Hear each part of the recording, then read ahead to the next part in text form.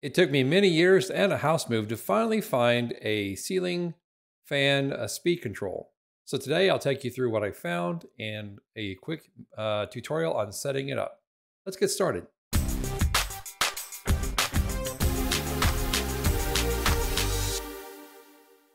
All right, so let me show you what I've got here. This is a, a ceiling fan dimmer, and it's made by a company called Martin Jerry.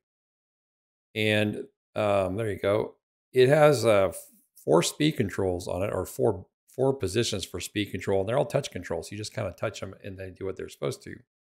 Uh, you can kind of see if I over my hand over that shadow, you can see the little red light blinking. That's because it's not configured. So we're going to go over that here in just a second.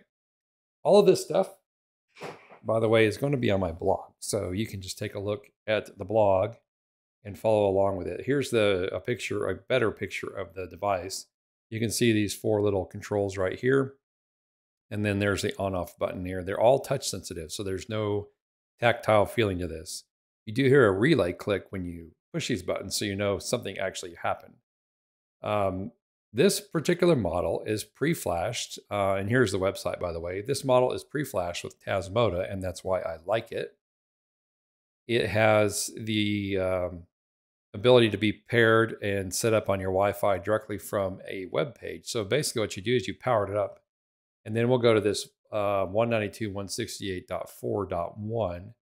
So I'm going to connect on my phone here to the Tasmota IP address here and it's going to try to connect and tell me I have no internet, which is fine. I don't care about that as long as it connects to it. And I want to connect only this time, go through all the rigmarole there. Now you should be able to open a browser. You should be able to go to 192.168.4.1 and enter that there. And it should bring up the Tasmota screen. And the first thing you want to do is connect to a 2.4 gigahertz network. So I'm going to connect to my network uh, and I will save it. So I'm just going to click on one of these guys here. To put in the password. Now it's going to try to connect the device to the network. And once it does that, it will come back and give you an IP address of the device itself. And then we can continue from there. And there's my new IP address, 172.3.110.110. All right, so now we can continue from here and we can go ahead and start setting things up. Now, there's a few configuration options that you're going to have to go through in order for this to work. All right, let me take a moment and just talk about where I'm getting the rest of this information from. DigiBlur uh, did a video on this, and so he has a nice blog post. And so what I'm doing is taking some of the configuration options that he and some of his community have figured out for this switch because there's a couple things that happen now. You can turn the switch on and off via Home Assistant by adding a button and just referencing the entity that shows up in Home Assistant. Um, you need to set up some auto discovery stuff first for it to actually get over there.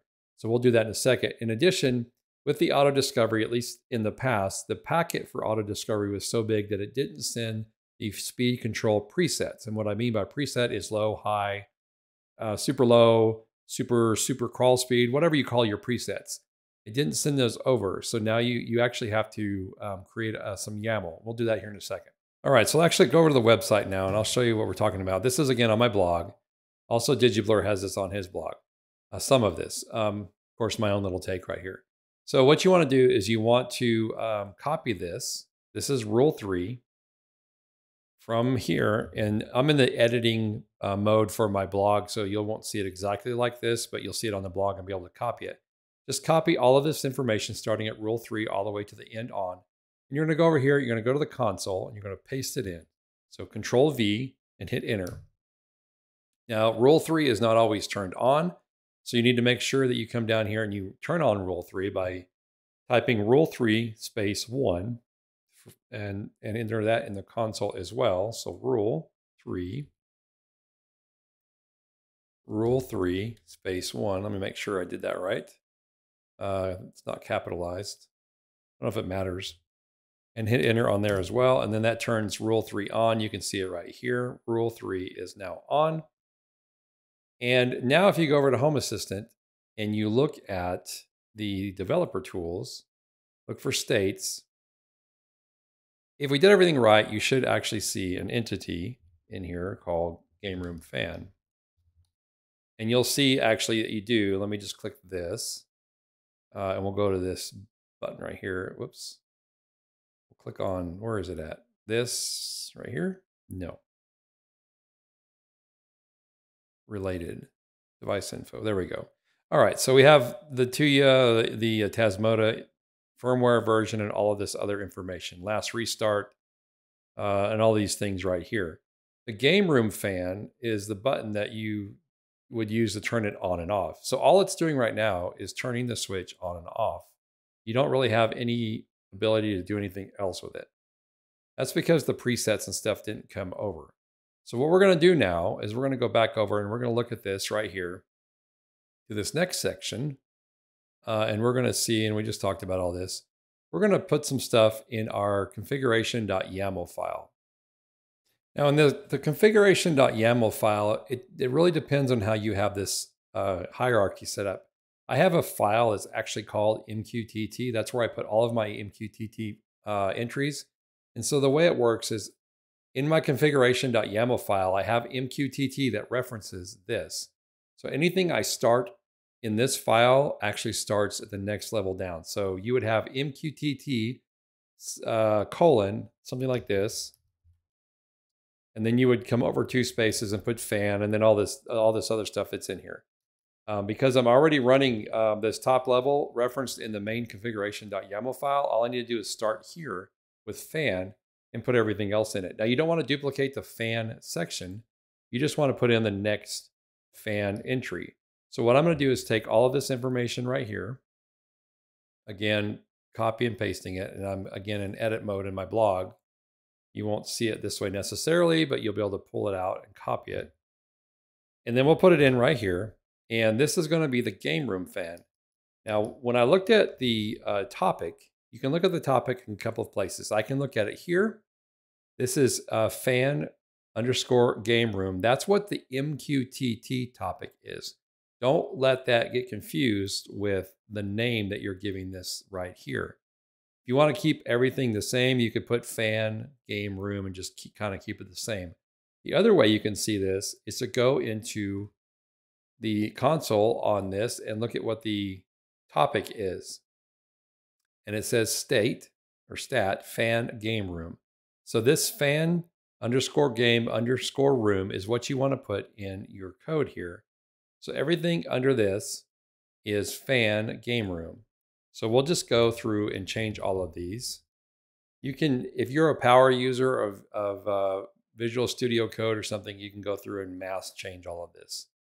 But um, I already have it up here, so it's a little more difficult. So let's change all this stuff.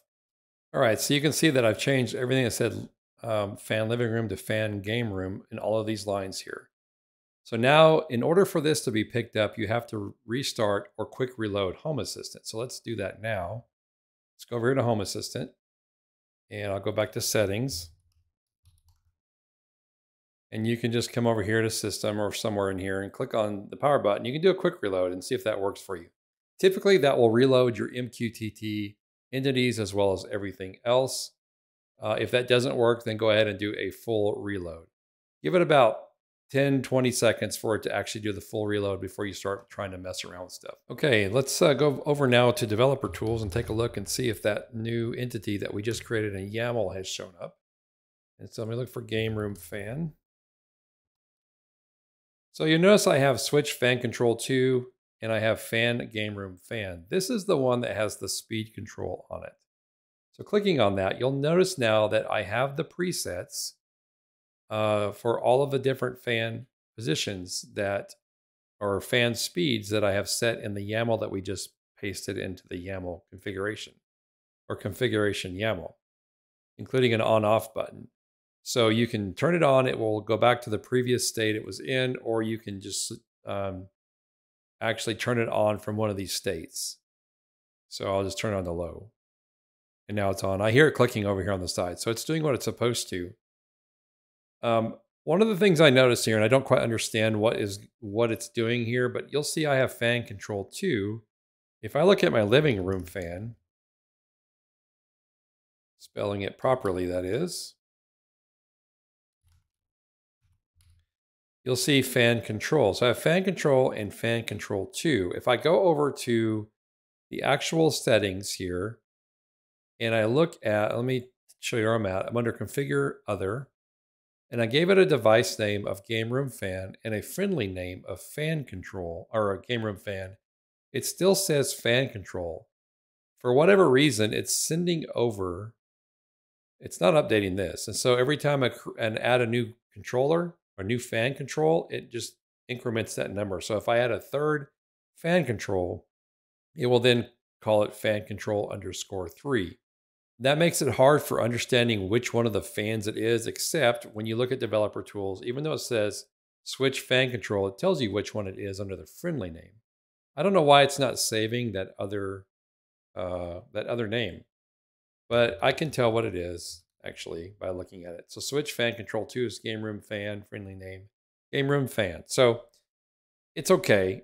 Uh, it, it doesn't break anything. The thing I'm most interested in is this anyway, because this has all of the speed controls.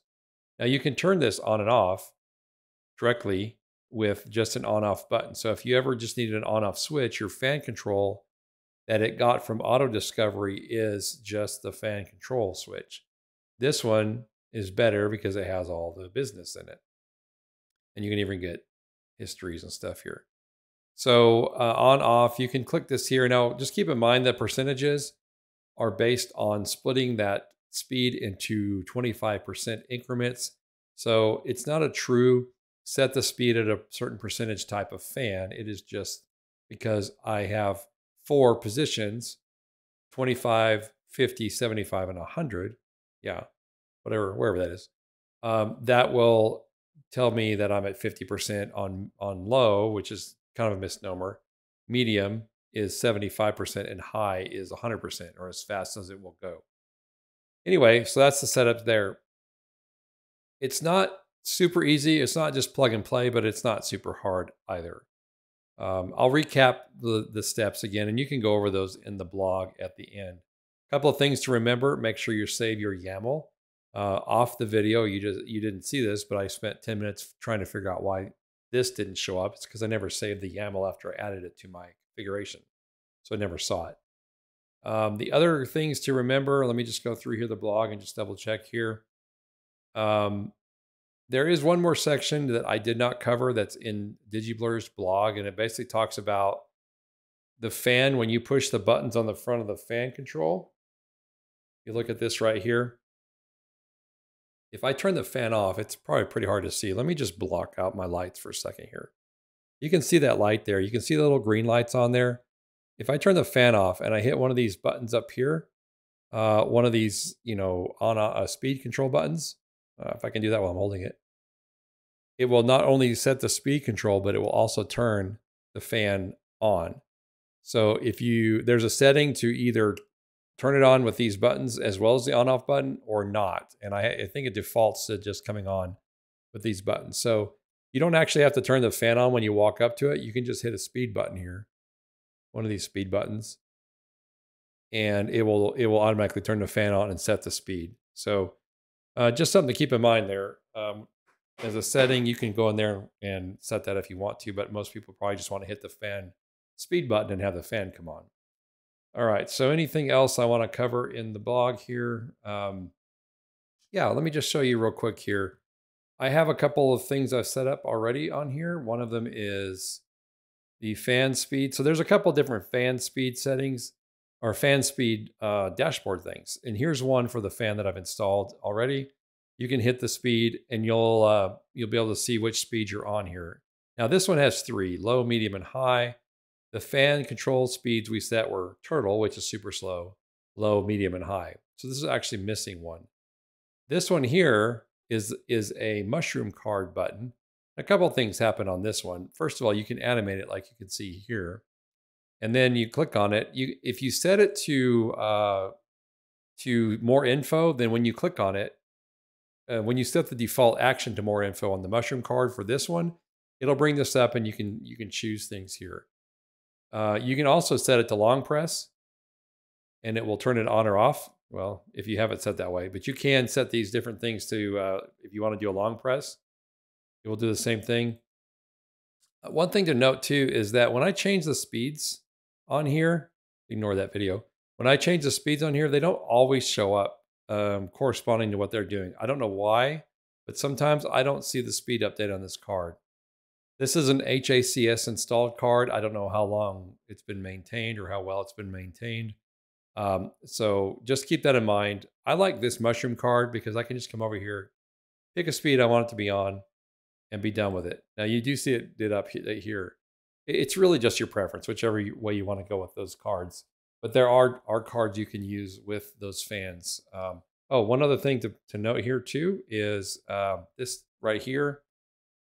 I think mentally, I think this is happening. If I click on high, it actually speeds that up. And if I put it on low, it actually slows us down. So if you could figure out the various speeds that are going on, the mushroom card will actually indicate the speed at which your fan is running, if you can tell the difference. I don't know how well in the video that even comes out. But on high, um, it to me it seems to go faster, but definitely on low, it seems to slow down a little bit. So you can kind of get an indication of how fast your fan is running just by looking at the card. Okay, so that's it. Now you go install it in the wall and make it work if you haven't already done that once you get it all programmed. I highly recommend that you program it before you put it on the wall if you if you are able to set up a little jig or a little test bench for that just to make sure it works and that you can play with it uh, right here everywhere and make sure it all works right uh, so